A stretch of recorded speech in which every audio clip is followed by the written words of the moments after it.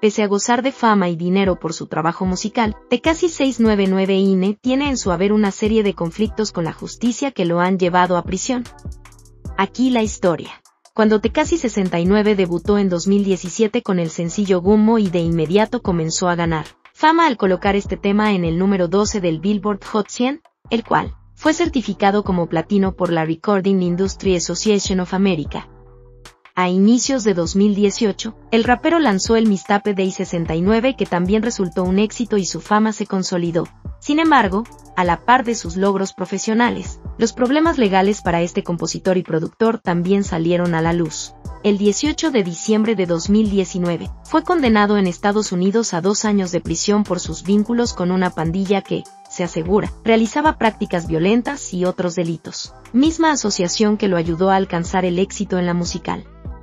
Los cargos que le imputaron al representante de música urbana orquestación de tiroteo que cobró una víctima, así como posesión de armas de fuego, violencia, robo a mano armada y tráfico de drogas. Con el fin de reducir su condena, el artista colaboró con la fiscalía para dar información sobre dicha banda conocida como Nintra Gangsta Bloods, cuya sede se encontraba en Brooklyn, al convertirse en el testigo estrella de las autoridades, se lograron varias detenciones.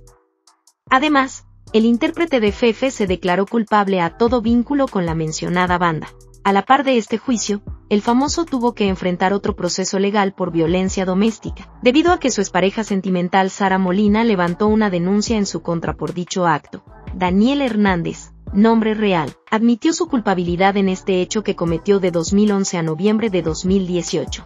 El primer delito por el que 699 INE fue acusado ocurrió en 2015, cuando se le señaló de supuesto abuso a una menor de 13 años, en aquel momento. Este estadounidense había cumplido 18 años y ya era considerado adulto para las leyes de su país.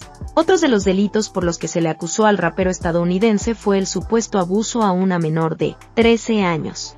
En 2015 fue cuando se le acusó de este crimen, año en que cumplió los 18 y ya constaba como adulto bajo las leyes. En aquel momento, la única sanción que le dieron fueron cuatro años de libertad condicional. En 2021 fue señalado de golpear a una stripper, cuyas heridas ocasionadas por la agresión con una botella de champaña ocasionaron que la víctima recibiera varios puntos. Así que el rapero debería pagar 10 millones de dólares que, hasta hace unos días, no había cubierto los problemas jurídicos no terminan para esta celebridad, ya que en agosto pasado lo detuvieron por no cumplir con la orden de tráfico. Aseguró que no sabía nada y no había recibido multa alguna. Tras pagar una fianza de 2.000 dólares quedó en libertad.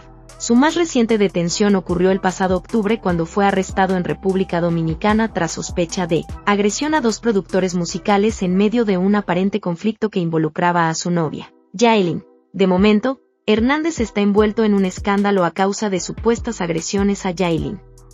Si bien él ha señalado que fue la modelo quien lo golpeó, ella asegura que tiene pruebas que él es el agresor. Solo con el tiempo se verá si Takeshi 699 INE ya no está envuelto en asuntos legales.